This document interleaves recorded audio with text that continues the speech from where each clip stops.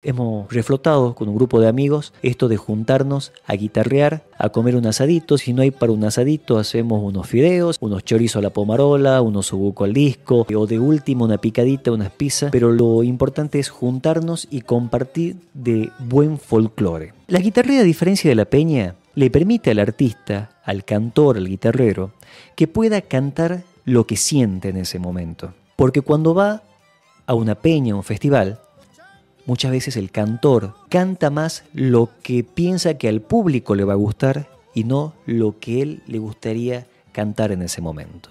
Y es lógico porque tiene que agradar al público, para que el público esté contento, consuma, le agrade al dueño de la peña y así respectivamente. ¿no? Pero en la guitarreada, con un par de vinitos encima, muy cómodo con amigos, salen canciones preciosas que a veces no son canciones comerciales. Y yo empecé a llevar a las guitarreadas mi cámara y a filmarlo a los muchachos, ¿no?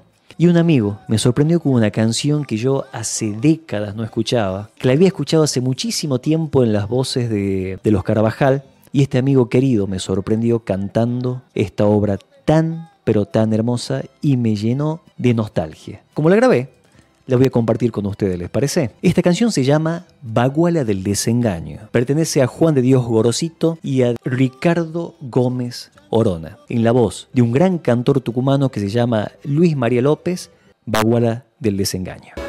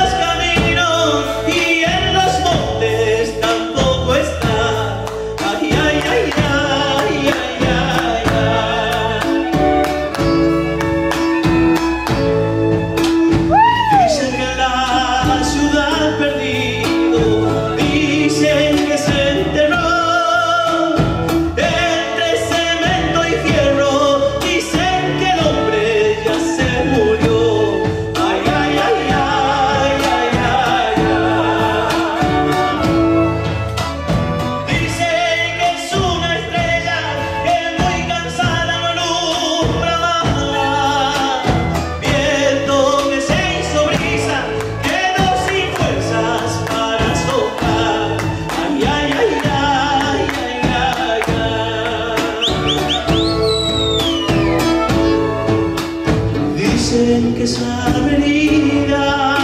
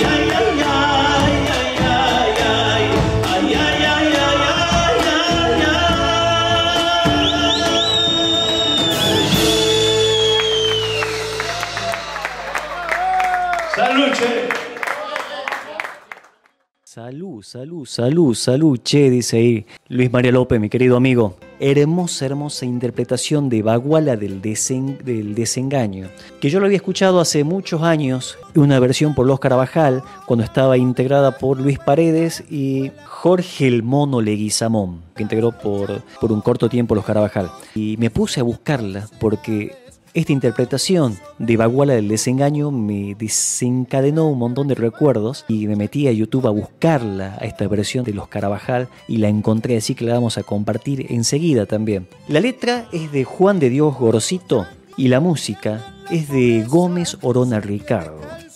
¿Quién será Gómez Orona Ricardo? Hay uno en el, en el, en el chat, creo que le pegó. A ver, a ver, a ver, a ver. Santiago Durán dice, Jacinto, sí señor, Jacinto Piedra, sí señor. El nombre verdadero de Jacinto Piedra era Ricardo Gómez Orona, ¿no? Sucede que en una guitarreada cuando empezaba su carrera Jacinto Piedra, o en ese momento Ricardo Gómez, estaba presente en esa guitarreada ni más ni menos que don Horacio Guaraní. Y Horacio Guaraní siempre tuvo una visión muy inteligente y para la época sumamente avanzada en el marketing de la música nacional. Ustedes saben que el nombre de, Horacio Guaraní no es Horacio Guaraní, porque él entendía que el nombre de un artista debía ser una marca que transmitiera algo. Dicen que, según me contaron en guitarreadas, ¿no? Que estaba cantando en esa guitarreada Ricardo Gómez y Guaraní lo escuchó por primera vez. Y le dijo, che, qué lindo, qué lindo que cantas. Dice, ¿cómo te llamas? Ricardo Gómez, señor.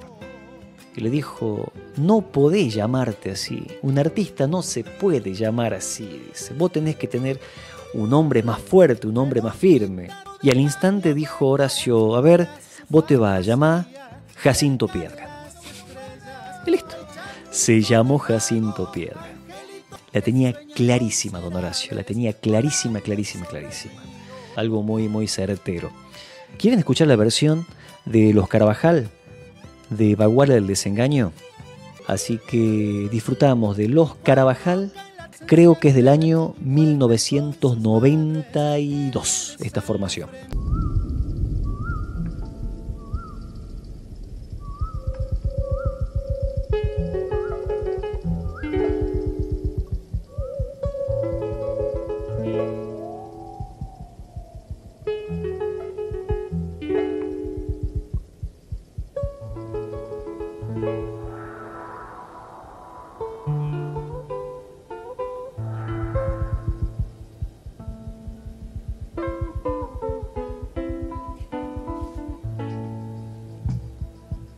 Sienta eso.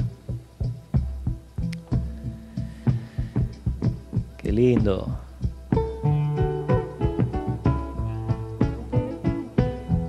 Dos guitarritas, bombo, un teclado y una pandereta.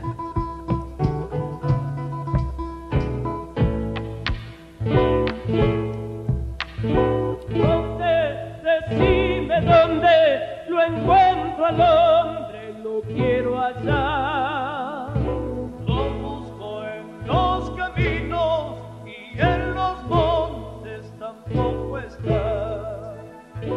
Dicen que es una estrella que muy cansada.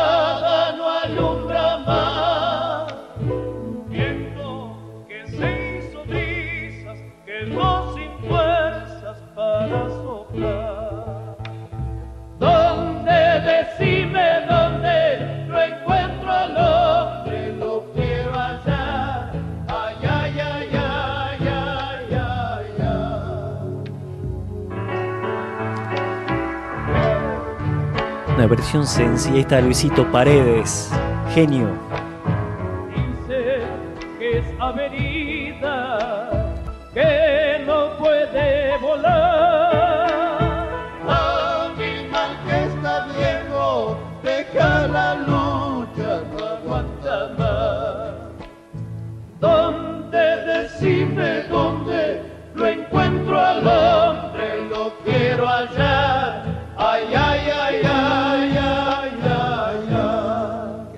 Qué cosa hermosa, chicos, esta versión de Baguala del desengaño por los Carabajal.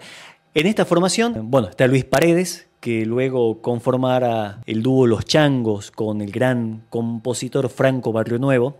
Luisito Paredes falleció hace tiempo ya. Y en esa formación estaba Jorge el Mono Leguizamón. Es eh, la primera voz que aparece ahí y fantástico, fantástico, fantástico la voz de este hombre. Qué lindo, chicos. Qué lindo recuerdo, qué lindo recuerdo de esta obra preciosa, Baguala del desengaño.